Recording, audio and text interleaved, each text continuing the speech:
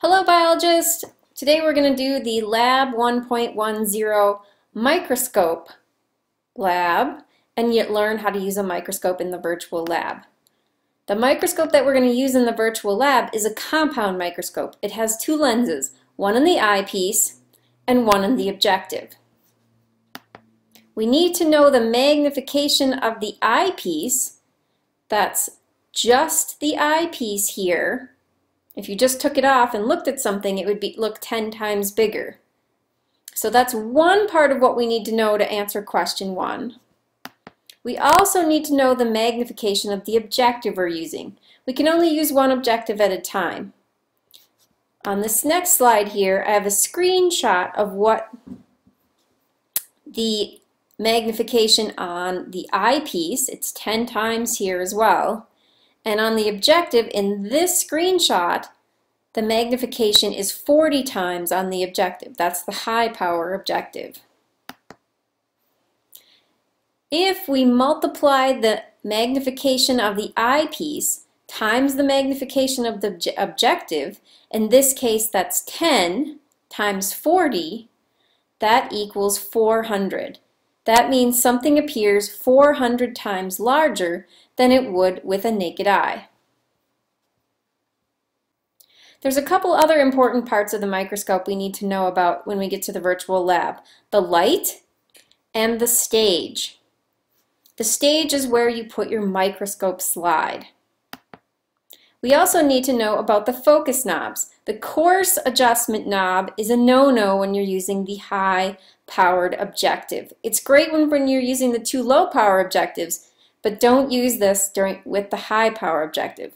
The fine adjustment knob should only should is the only knob that should be used with the high-power objective, and I'll demonstrate why here in just a moment. Let's head to the virtual lab first. You'll notice first you have to click on Lab 1.10. The second thing you need to do is get to slide 8 out of 10 within the lesson.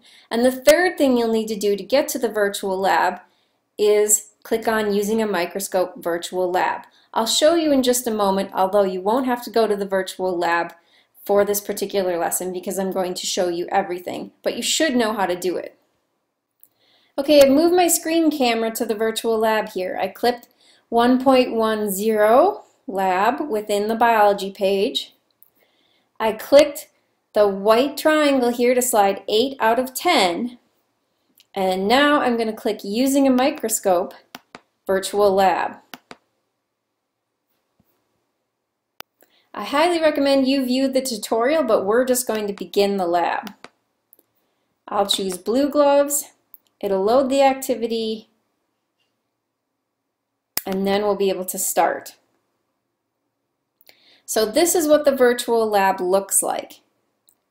I'm going to show you a real microscope right now so you can see the difficulty in focusing the high-powered objective.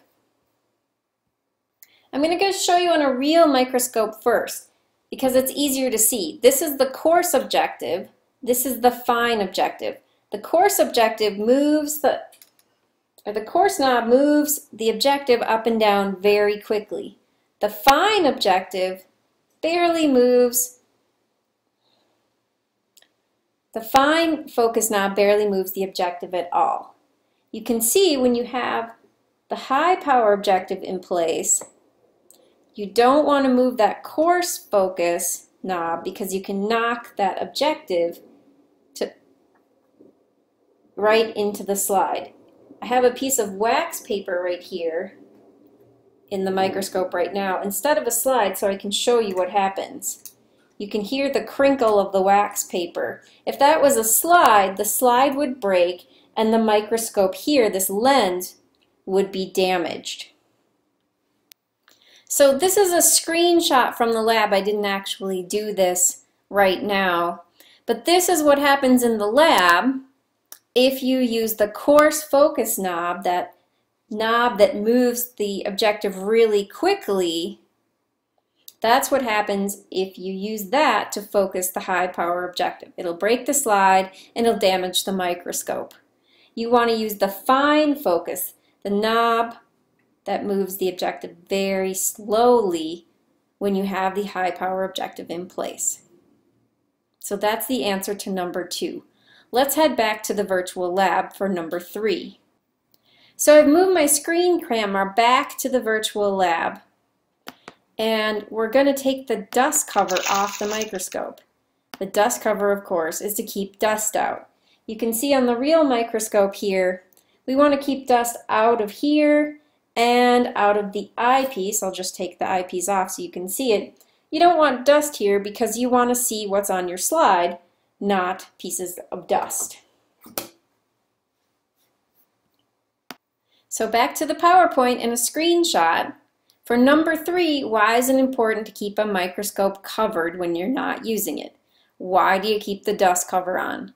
Well, you want to keep the dust out of your slides and your lenses so that you see your specimen and not the dust.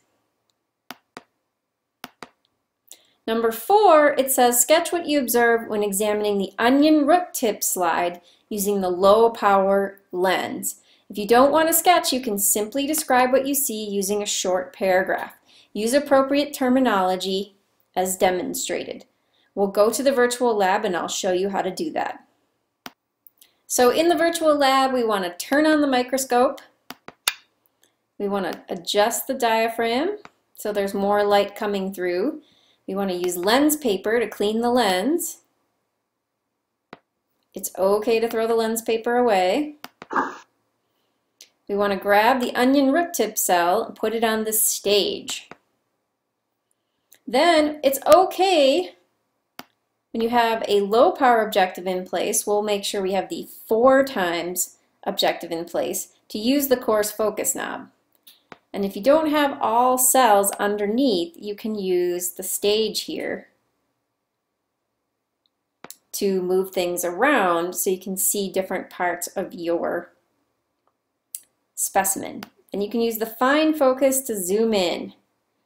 And what you're seeing here are cell walls, cell membranes, and the nucleus.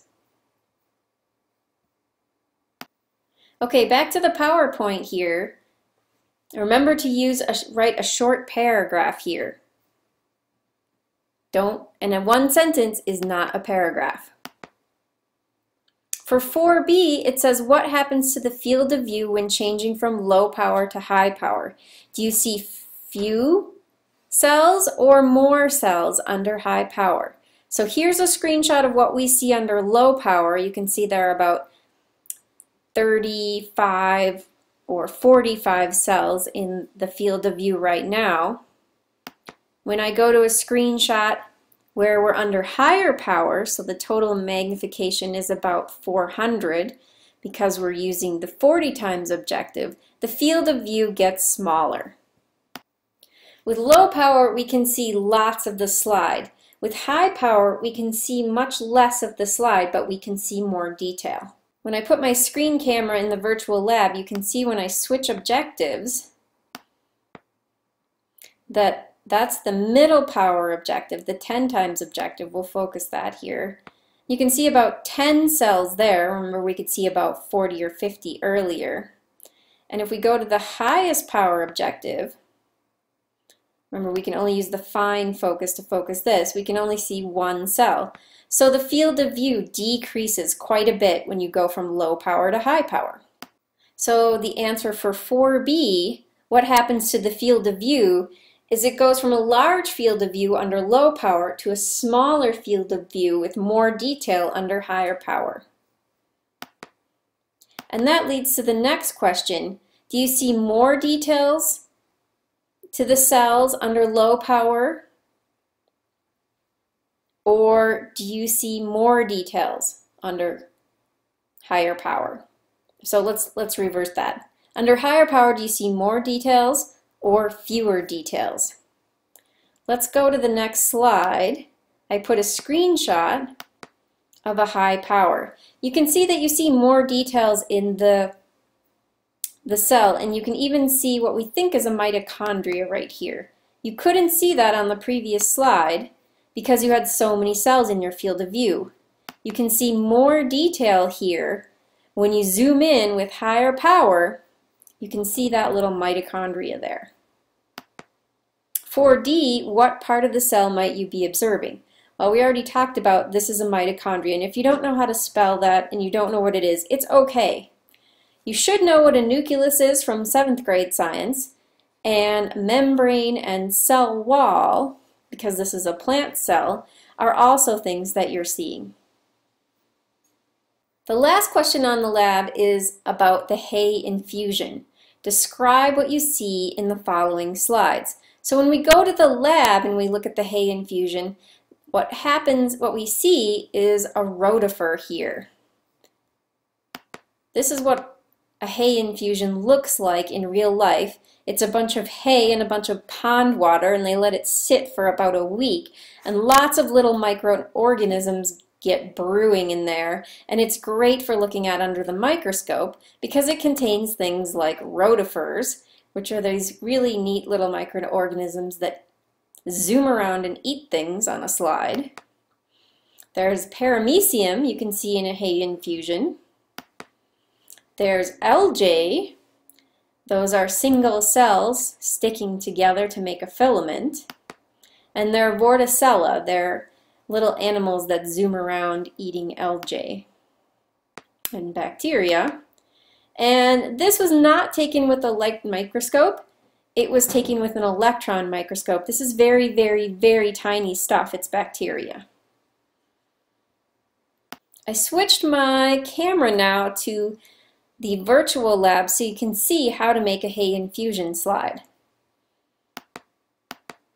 We'll go in the gooey water here, put a couple drops of the hay infusion onto a slide, grab our forceps, take a cover slip and make a slide.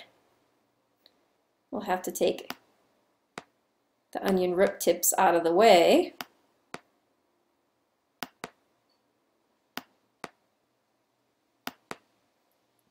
Put them back where we found them and slide the hay infusion onto that stage.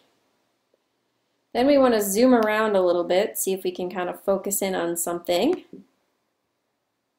we've only got the medium objective in, so we can zoom in with the coarse focus, adjust things with the fine, and we're probably seeing a rotifer here. This is a photograph of a rotifer. Remember, you can also sometimes see paramecium, you can see filamentous algae, you can see vorticella, you can see bacteria, and that's the answer for number five about hay infusion. If you want to learn more about hay infusion, you can just put in Wisconsin or Wisc EDU hay infusion in the search engine and you'll pop up a very cool video with more detailed answers about hay infusion. Some versions of the lab have a question about diatoms on it. They are microscopic, single or multicellular photosynthetic organisms found in fresh and salt water. So that means the ocean and in a lake nearby you. Diatoms are an indicator of climate change because of ocean acidification. When the, acid, when the ocean is more acid, they have a harder time making their shells. Diatoms are super cool because they may be a source of oil. Let's go look at what they look like in the lab. So I switched my screen camera to the virtual lab and I'm going to grab the diatom slide here and put it under the microscope. I'll zoom around so I can we can see things a little bit better. We'll zoom in. I left it on the high power objective and we'll use the fine focus here to see what we can see in the diatoms. Okay, I have the scanning objective in place right now here in the virtual lab, and here are some diatoms that we're looking at. I can zoom the stage around so you can see more of the diatoms. Let's focus in on this kind of pile of diatoms. We can zoom in here and look a little bit closer. They look like very, very tiny shells, and that's kind of what they are.